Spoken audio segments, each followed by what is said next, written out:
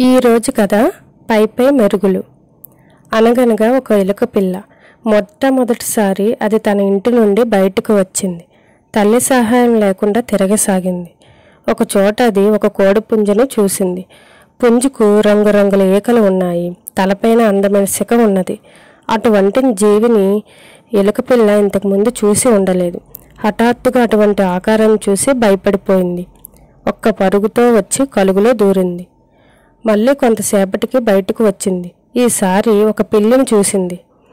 ఆహా దీని వెంట్రుకలు మృదువుగా ఉన్నవి. శరీరం ఎంతో అందంగా ఉన్నది అని అనుకున్నది. దానికి ఆ పిల్లి బాగా నచ్చింది. ఆ ఎలుక పిల్ల ఇంటికి వెళ్ళింది. తాను చూసిన వాటి గురించి తల్లితో చెప్పింది. నీవు తెలివి తక్కువ వాడివి. చూసిన ప్రతి దానిని నమ్మకూడదు. పైపై మెరుగులు మోసం చేస్తూ ఉంటాయి. మొదట నీవు చూసింది కోడిపుంజు. అది మన జాతికి హాని చేయదు. రెండవది అందంగా కనిపించిందన్నావు అదే హానికరమైనది. మనకు ఆజన్మ శత్రువు.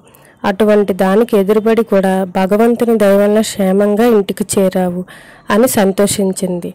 రూపాలను బట్టి పైపై మెరుగులను బట్టి గుణాలను అంచనా వేయరాదు. ఫ్రెండ్స్ ఇలాంటి మంచి మంచి కథల కోసం తప్పకుండా మన ఛానల్ని సబ్స్క్రైబ్ చేసుకొని పక్కనే ఉన్న బెల్ ఐకాన్ని ప్రెస్ చేయండి.